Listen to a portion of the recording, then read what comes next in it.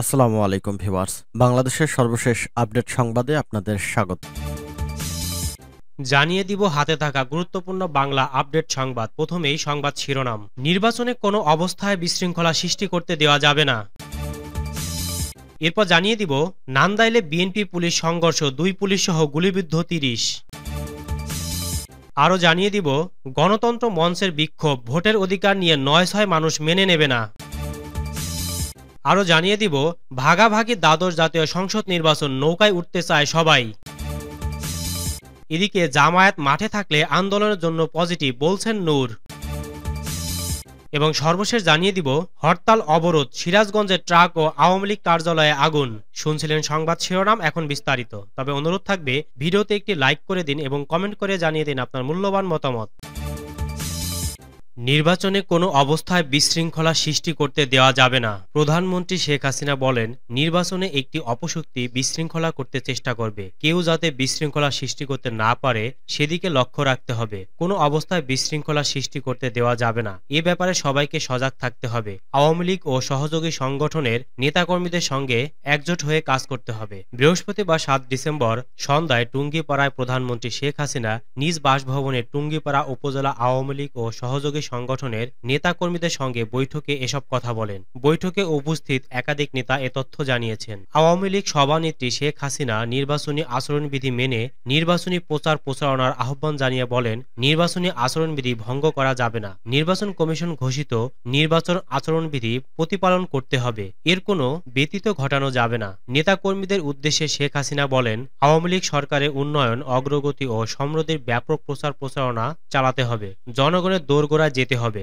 সরকারের সাফল্যের কথা তুলে ধরতে হবে। সহযোগী সংগঠনের নেতাকর্মীদের উজ্জীবিত করে রাজপথে নামাতে হবে। শেখ হাসিনা নেতাকর্মীদের উদ্দেশ্যে আরও বলেন, আমার মা, বাবা, ভাই নেই। আপনারাই আমার সব। আমার সবকিছুই আপনারা দেখবেন। এই সময় গোপালগঞ্জ জেলা আওয়ামী লীগের সভাপতি মাহবুব আলী খান, সাধারণ সম্পাদক জি এম শাহাবুদ্দিন আজম, টুঙ্গিপাড়া উপজেলা আওয়ামী লীগের সভাপতি শেখ আবুল বাসার খায়ের, সিনিয়র সভাপতি মোহাম্মদ ইলিয়াস হোসেন, সাধারণ সম্পাদক মোহাম্মদ বাবুল শেখ, পৌর মেয়র শেখ তোজাম্মেল হক টুটুল, টুঙ্গিপাড়া পৌর আওয়ামী লীগের সভাপতি শেখ সাইফুল ইসলাম, সাধারণ সম্পাদক মোহাম্মদ ফোরকান বিশ্বাস সহ টুঙ্গিপাড়া উপজেলা আওয়ামী লীগ ও সহযোগী সংগঠনের নেতৃবৃন্দ উপস্থিত ছিলেন। এর আগে বৃহস্পতিবার বিকাল চারটায় প্রধানমন্ত্রী শেখ হাসিনা ঢাকা থেকে দুদিনের সফরে টুঙ্গিপাড়ায় এসে পৌঁছান। তারপর তিনি জাতির পিতা বঙ্গবন্ধু শেখ মুজিবুর রহমানের সমাধিতে পুষ্পস্তবক অর্পণ করে শ্রদ্ধা নিবেদন করেন। তিনি সেখানে কিছুক্ষণ নীরবে দাঁড়িয়ে থেকে শৃঙ্খল মুক্তির মহানায়কের প্রতি অতল সম্মান প্রদর্শন করেন। পরিবারের সদস্যদের নিয়ে বঙ্গবন্ধু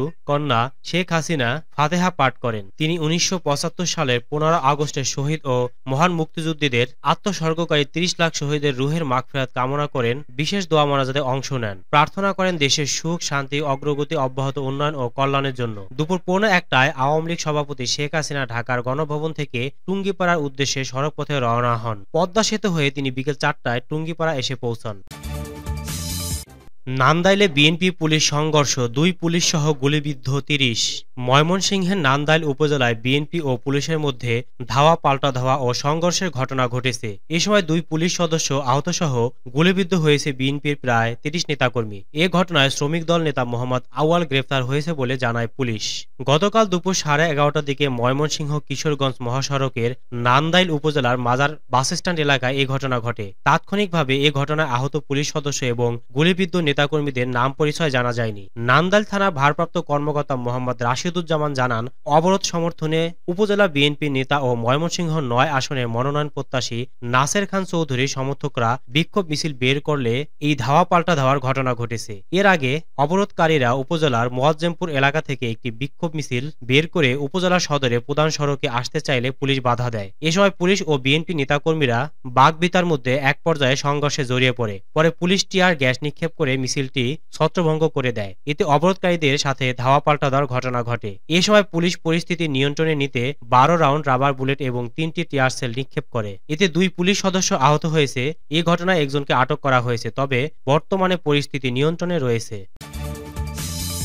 গণতন্ত্র মঞ্চের বিক্ষোভ, ভোটের অধিকার নিয়ে নয় ছয় মানুষ মেনে নেবে না। বিএনপি সহ সমমনার দলগুলোর অবরোধের সমর্থনে মিছিল সমাবেশ করেছে গণতন্ত্র মঞ্চ। বৃহস্পতিবার দুপুর বারোটায় রাজধানী পুরানা পল্টনে রাষ্ট্র সংস্কার আন্দোলন কার্যালয়ের সামনে থেকে এ মিছিল শুরু হয়। দৈনিক বাংলা মোড় কালভার্ট রোড দিয়ে বিজয়নগর পানির পাম্প হয়ে পল্টন মোড়ে গিয়ে মিছিলটি শেষ হয়। মিছিল শেষে বিপ্লবী ওয়ার্কার্স পার্টির সাধারণ সম্পাদক সাইফুল হকের সভাপতিত্বে এবং রাজনৈতিক পরিষদের সদস্য মীর মুফাজ্জল হোসেনের সঞ্চালনায় সংক্ষিপ্ত সমাবেশে অনুষ্ঠিত হয়। সমাবেশে গণসংহতি আন্দোলনের প্রধান সমন্বয়কারী জোনায়েদ সাকি বলেন, এই সরকার জবরদস্তি করে ক্ষমতায় থাকতে আরও একটি পাতানো নির্বাচনী নাটক মঞ্চস্থ করতে গিয়ে দেশকে ভয়ঙ্কর বিপর্যয়ের পথে ঠেলে দিয়েছে। মানুষের ভোটের অধিকার নিয়ে এরকম নয় ছয়, দেশের মানুষ কোনোভাবেই মেনে নেবে না। সবার সভাপতি সাইফুল হক দশ ডিসেম্বর আন্তর্জাতিক মানবাধিকার দিবস উপলক্ষে ঢাকা সহ জেলা স্তরে মানববন্ধন ও সমাবেশের কর্মসূচি ঘোষণা করেন। ওই দিন বেলা সাড়ে এগারোটায় রাজধানী কাউরান বাজারে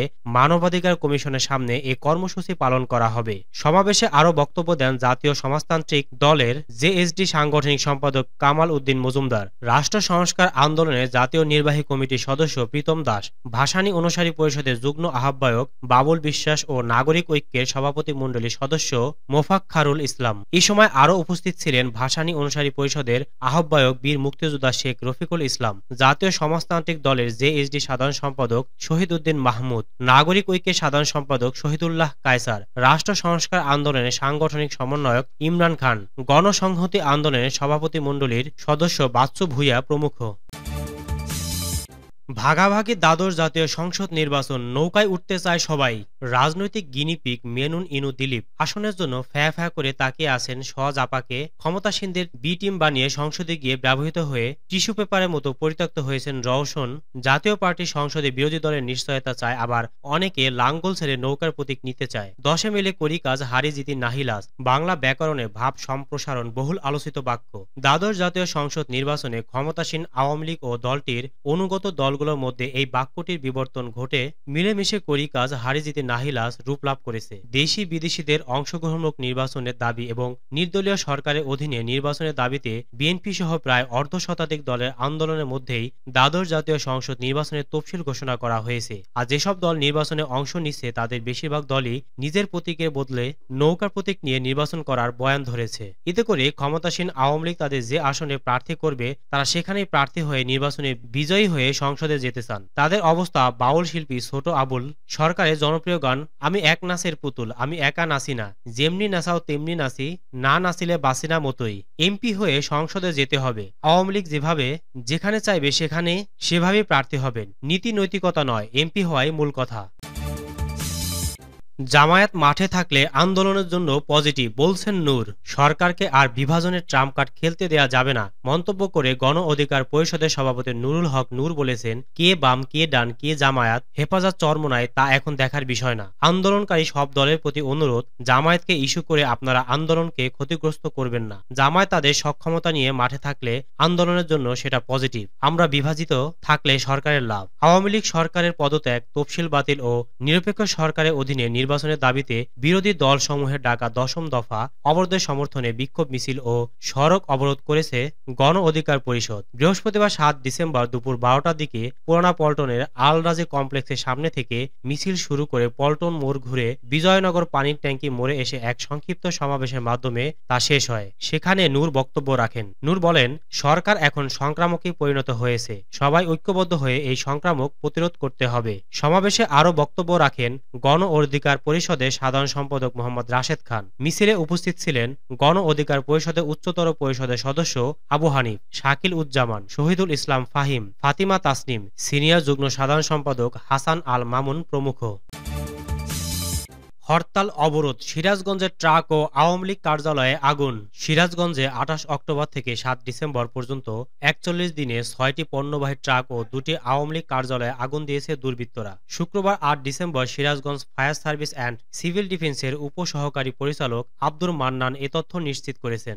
জেলা ফায়ার সার্ভিস সূত্রে জানা যায়, গত একত্রিশ অক্টোবর জেলার রায়গঞ্জের চান্দাইকোনায় দাঁড়িয়ে থাকা গম বোঝায় একটি ট্রাক পাঁচ নভেম্বর শাহজাদপুর উপজেলা আওয়ামী লীগ অফিসের পাশে একটি পণ্যবাহী ট্রাক বিশ নভেম্বর কামারখন্দ উপজেলার কোনাবাড়ি এলাকায় একটি গম বোঝাই ট্রাক উনত্রিশ নভেম্বর নলকা এলাকায় সবজি বোঝাই একটি পিকআপ তিন ডিসেম্বর উল্লাপাড়ার নবগ্রাম এলাকায় করতোয়া কুরিয়ার সার্ভিসের পার্সেলবাহী একটি কাবার্ড ভ্যান এবং গত ছয় ডিসেম্বর রাতে শাহজাদপুরের টেটিয়ার কান্দা এলাকায় মুরগিবাহী গাড়িতে আগুনে পুড়ে দেওয়া হয়েছে। এছাড়া গত আঠাশ অক্টোবর রাতে চৌহালির এনায়েতপুর থানা আওয়ামী লীগ কার্যালয় গত পাঁচ নভেম্বর ভোর রাতে শাহজাদপুর উপজেলার হাবিবুল্লাহ নগর ইউনিয়নের বাদল বাড়িতে আওয়ামী লীগ কার্যালয় ভাঙচুর ও আগুন দেওয়ার ঘটনা ঘটে। ছয়টি পণ্যবাহী ট্রাক ও দুটি আওয়ামী লীগ কার্যালয়ে আগুনের ঘটনায় কোনো হতাহতের ঘটনা না ঘটলেও ব্যাপক ক্ষয়ক্ষতি হয়েছে। তবে বেশি ক্ষতি হয়েছে মুরগির গাড়ি, গম বোঝাই ও কুরিয়ার সার্ভিসের পরিবহনে। ক্ষতির পরিমাণ এখনও জানা যায়নি। মুরগির গাড়িতে আগুন দেওয়ার বিষয়ে গাড়ি চালক মোখলিসুর রহমান বলেন,